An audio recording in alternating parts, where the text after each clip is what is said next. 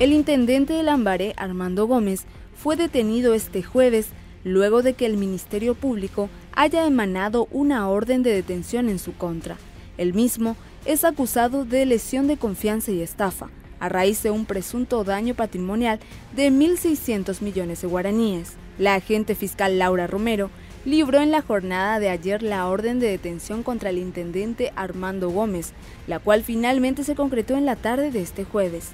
Asimismo, solicitó la prisión preventiva del ex administrador de la municipalidad de Lambaré, Roberto Paredes, quien se vio obligado a renunciar a raíz de la manifestación de los funcionarios. Gómez, quien fue detenido por la policía en la playa municipal de Puerto Pabla, es acusado por el hecho punible de lesión de confianza y un presunto perjuicio patrimonial de 1.600 millones de guaraníes. La causa corresponde al año 2017 y debido a que Gómez se encontraba con paradero desconocido, no acudió a la audiencia indagatoria a la que había sido convocado, lo cual derivó en que se haya ordenado su detención. Según el informe de Contraloría que nosotros recibimos, más que nada son, eh, no corresponde a una auditoría, sino que más que nada una revisión documental de documentos que nosotros le habíamos presentado, ¿verdad? En donde ellos nos sugieren, ¿verdad? De hecho, este, tomar algunas providencias en cuanto a los errores administrativos que se hayan podido eh, cometer. De hecho, nosotros esto veíamos venir, ¿verdad? Porque nosotros eh, hace rato nos están apretando por todos lados. Eh, decíamos eso, ¿verdad? Que esto no iba a quedar solamente en el pedido de intervención, sino que van un poco más allá, ¿verdad? Y sabíamos que esto se estaba armando, preparando este tipo de intervención de, de poder este, la Fiscalía emitir una orden de detención por una supuesta lesión de confianza. ¿verdad? Claro, nosotros vamos, no podemos negar a eso, eh, no nos ponemos a disposición de la, de la justicia, ¿verdad? de la Fiscalía. ¿verdad? Eh, de hecho, nuestros abogados se van a poner también en contacto para saber bien de, eh, de qué es lo que se trata, cómo es esto. Pero repito, esto nosotros veíamos venir, este es un apriete que están haciendo desde hace rato, ¿verdad?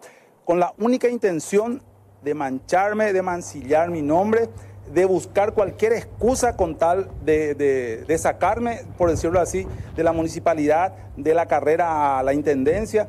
La representante del Ministerio Público sostuvo que esta causa también está vinculada con la auditoría realizada por la Contraloría General de la República, que en su informe final confirmó una serie de irregularidades en la administración del intendente lambareño. Actualmente, Armando Gómez se encuentra recluido en la sede de la comisaría cuarta de Lambaré. Él fue notificado en varias oportunidades para declarar y es un proceso del 2017 ya, es un proceso ya antiguo de los varios que tiene en la, en la fiscalía, ¿verdad? Solamente que en este eh, por fin me llegaron algunos informes los cuales me permitieron ya eh, emitir ya una orden de detención para a los efectos de que él se presente a su declaración indagatoria. Para asegurar que en este caso el intendente vaya y declare, se lo detiene. No, no, es que se lo detiene para llevarlo preso. No, no, no, se lo detiene para que vaya a declarar. A declarar. En la propia municipalidad nos habían dicho de que él hacía semanas que no aparecía por allí y que los concejales estaban con mucho temor de que él de que él se fugue, ¿verdad? Por la cantidad de, denuncias que tiene. Entonces es así que surge la orden de detención. Fiscal, además de lesión de confianza, ¿hay algo más en su contra? Sí, una denuncia sobre estafa. 1.600 millones sería el perjuicio a la comuna. Doctora, ¿él dónde va a pasar la noche? Posiblemente en la comisaría cuarta, que es la comisaría que está más cercana al Ministerio Público. ¿Él a qué hora mañana tendría que declarar, doctora? Siete de la mañana. La mejor casa de electrodomésticos del país. Bristol, la mejor casa de electrodomésticos del país.